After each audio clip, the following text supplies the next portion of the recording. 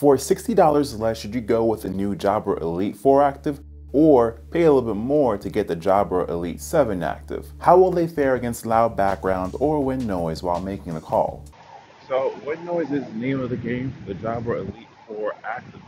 And overall, I think it has a nice sound, but definitely you're drowned out by the surrounding noise as well as the wind muffling a little speech. So this is the sound of the Jabra Elite 7 Active and very similar to the 7 Pro. I feel like there's a little bit of some sort of processing, a dampening of the environment, which I guess you can't hear while I'm talking, but definitely if I'm silent, you kind of hear it. At the time of this recording, the Jabra Elite 4 comes in at $119.99 while the Jabra Elite 7 comes at $179.99. Both come in black, navy, and mint green. Although the mint green on the Elite 7 seems to be a bit darker than on the Elite 4, and both of them are dust and waterproof rated at IP57, so you don't have to worry about getting them wet. Both of them are supposed to be your fitness style active earbuds, but the look is so subdued and actually stylish in my opinion.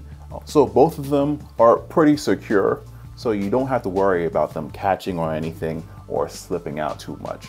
For the Jabra Elite 4, there seems to be a small button used for the Elite 4, which makes it a little harder to press within this triangular design. For the Elite 7 Active, it has a very teardrop shape, so I'm assuming it has a larger button, which makes it very easy to activate or use. The Elite 7's claim to fame is a shake grip coating, which is supposed to help with, of course, not slipping. And actually feels good in the hand. It's like, like a sway. The Elite 4 has some sort of plastic polymer on it, but overall, I like the Elite 7 Active. It just feels better in the hand.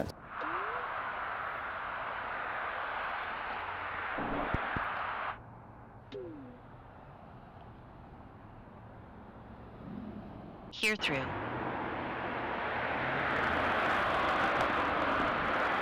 ANC. As for active noise canceling, I think they were pretty much on par, although I did for some reason like the Elite 4 Active's ANC. I don't know, I just feel like it drowned out a little bit more, but maybe that was just me. What are your thoughts? As for controls, they are both identical. You have the right earbud controlling most of the multimedia functions, while the left cycles through the sound modes, ANC, transparency, and all that jazz. But the button controls of the Elite 7 Active are able to be further customized within the Sound Plus app. The Elite 4 Active is only charged with USB-C charging, while the Elite 7 Active is USB-C and wirelessly charged. With the Elite 4, you can cycle through the sound modes, you have music EQ and EQ presets. And you have minor personalizations like choosing whether you want to hear your voice through calls, side tone, or the level of customization you want for your active noise canceling. So with the Jabra Elite 7 Active, you have everything I mentioned before, plus you have soundscapes, music hearing profile, in-ear detection. You have whether you can mute or unmute calls, whether you remove them, call EQ. You have sleep mode. You can choose, of course, your sound mode cycles. My Fit, where you can find the fit of your ears. You can choose the level of ANC you want. You have My Sound to personalize your EQ based on your hearing. You have My Controls, where you can adjust your controls. And it is just a whole buffet, buffet of personalizations. The Elite 4 Active is definitely a more budget-friendlier version of the Elite 7 Active.